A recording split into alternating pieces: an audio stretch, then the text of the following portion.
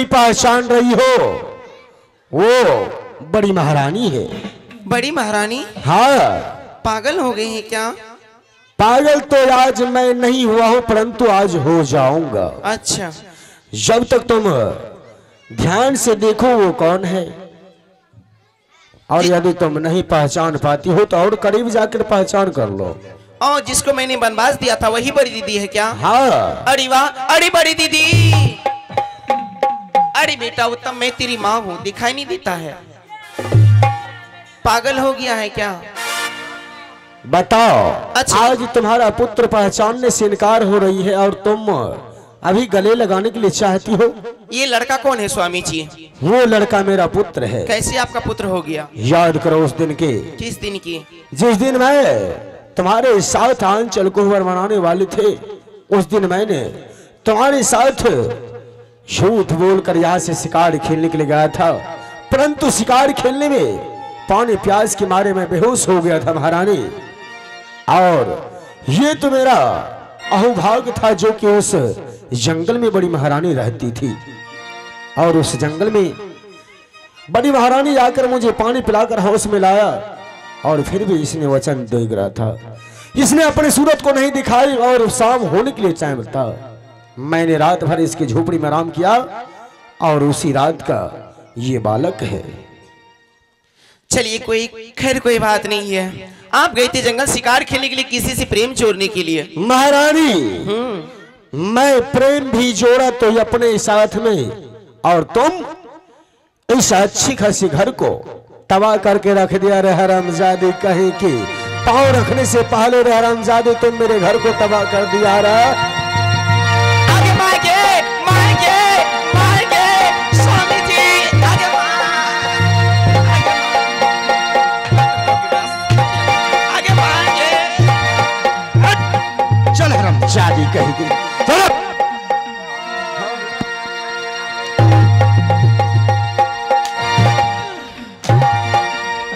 स्वामी जी मुझे माफ़ कर दीजिए मैं ऐसी गलती कभी नहीं करूँगी। महाराज! क्या हुआ इसको मत मारिए। क्या हो? ए सब छोड़ा कहता है मार दीजिए। लेकिन है पकड़ का बुड़बक्की के साथ बस आप भेजी दो भेजी दो। और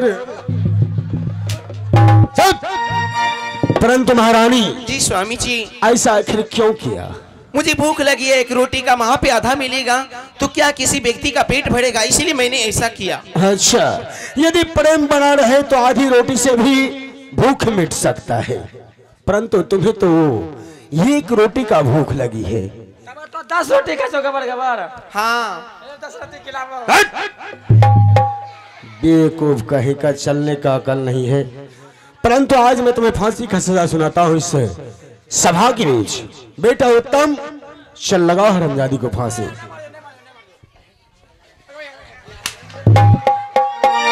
बेवकूफ़ कहेगा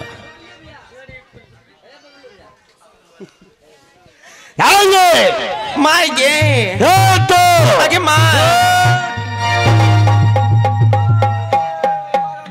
जी के लिए छोड़ दीजिए, अब कोई टांग लाल जल बोलो नहीं महारानी जी मारते। कोई छोड़ दीजिए जी। बेवकूफ़ कहेगा परंतु महारानी हाँ। बता तुम इस हरमजादी को क्यों बचाई? इन्हें छोड़ दीजिए ये क्यों? ये मेरी छोटी बहन है। इसे मत मारिए। बताओ महारानी तुम्हारे हृदय किस मिट्टी के बनी हुई है? तुम्हारे हृदय में अभी भी छोटी महारानी के लिए प्रेम जगा हुआ है। जोनी बा। और मैं इसे माफ़ तो कर दूँगा पर इसे नौकरानी बनकर रहना होगा इस महल में।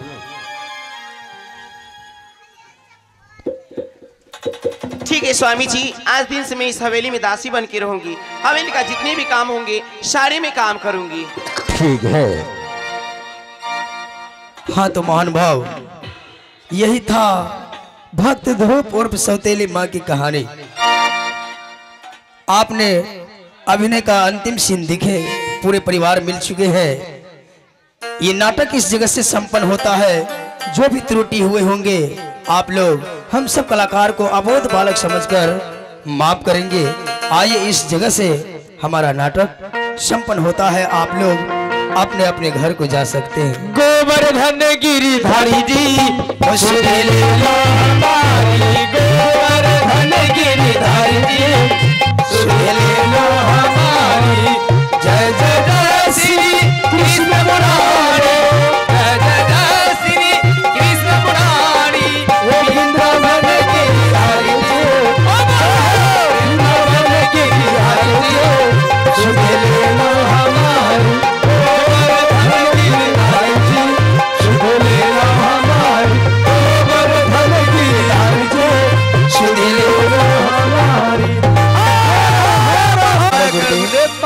माता की जय। जय हिंद, जय भारत, धन्यवाद।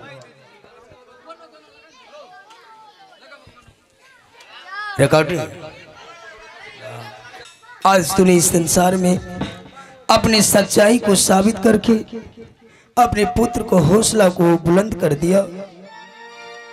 वैसे मुझे विश्वास नहीं था, पर आज मुझे गर्व है, इस संसार में हमें पिताश्री मिल गया। माता पिता के चरणों में चारों धाम हैं। इनके चरण छूने से, जो तीर्थ करने से उसे फल मिलता है, वो माता पिता के चरण छूने से मिलता है। आय गोर तो हो रहा आ लग या पिताजी। मैं धन हो गया पिताजी। आपके दर्शन पाने के लिए मैंने संसार में कितना भक्ति किया।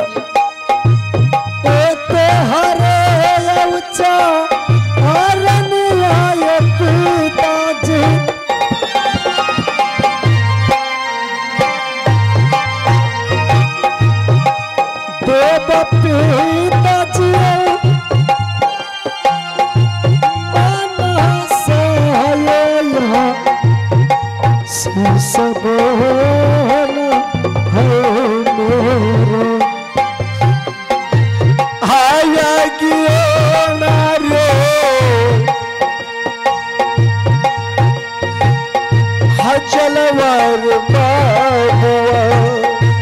हाँ पिताश्री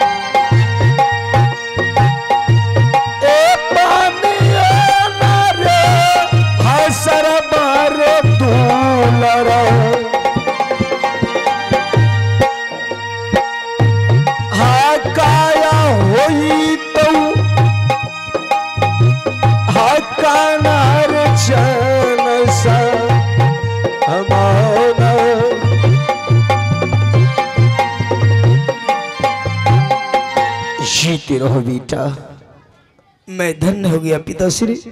इन्हीं दिनों का तो मैं इंतज़ार कर रहा था। कब मेरे जीवन में वो खुशी आएँगी जो माता पिता का दर्शन पा करके मैं सारे कष्ट को भूल जाऊँगा। परंतु बेटा अब परंतु क्या पिताश्री? तुम्हें तो खुशी आ चुका है। पर मुझे वो दिन का याद है। जिस दिन तुम मेरे गोद में आकर बैठा था तो शर्मजादी ने। मेरी गोद से तुम्हें ज़मीन पर उछाल कर फेंक दिया था, उस दिन तुम अपनी आँखों से आँसू नहीं, बल्कि खून का आँसू रोया था। बेटा, मैं उस आंसुओं का गिन गिन कर बदला नहीं लिया। मेरा नाम है राजा उतान पात सिंह नहीं। नहीं पिताजी। पीते हुए कल को भूल जाइए। कैसे भूल जाओ? वो मेरे भाग्य में लिखा था। मेरे भाग में दुख लिखा था। तो सुख कहाँ से प्राप्त होता पिताश्री? परंतु बेटा आपके चरण धूल से हमारे सारे कष्ट दूर हो गए पिताश्री।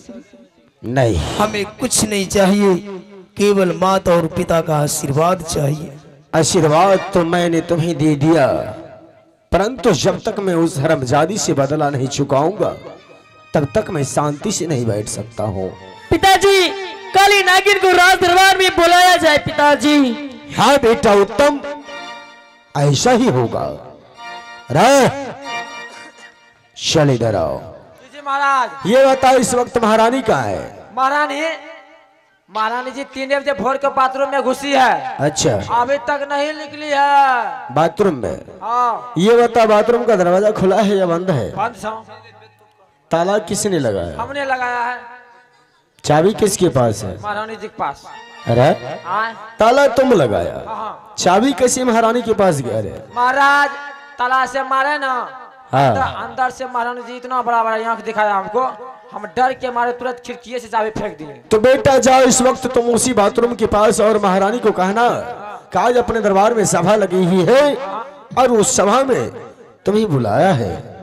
था। जितना कहता हूँ उतना ही सुनो। हम यह सुन रहो हा दुर्गा सरोगे सती माँ।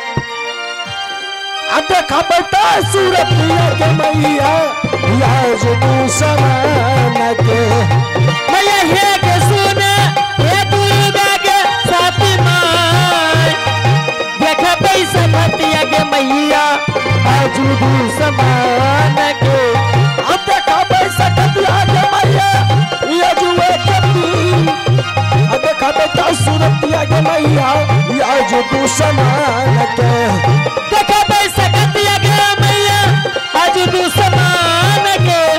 देख के मैया।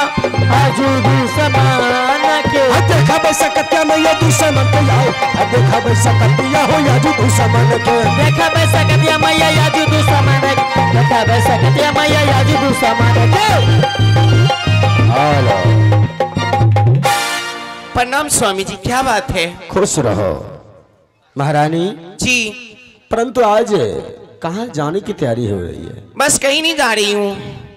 और महारानी ये सभा देख रही हो? हाँ देख रही हूँ। ये जो सभा लगी हुई है सिर्फ़ तुम्हें ही देखने के लिए। क्या बात है जो कि सभा लगी है। और इस सभा में ऐसी कोई अपने दरबार में व्यक्ति पहुँचे हुए है अच्छा। उसे तुम्हें पहचान करना होगा। ठीक है अभी मैं पहचान कर लेती हूँ। करो महारानी। ये सबको तो मैं पहचानती हूँ। ये मंत्री जी है ये उत्तम है हाँ। ये उत्तम का दोस्त है लेकिन वो औरत को नहीं पहचानती हूँ। नहीं पहचानती हूँ। जी नहीं स्वामी जी। महारानी जिसे तुम नहीं पहचान रही हो वो हेलो। आइए आप हैं श्री महेंद्र मंडल जी।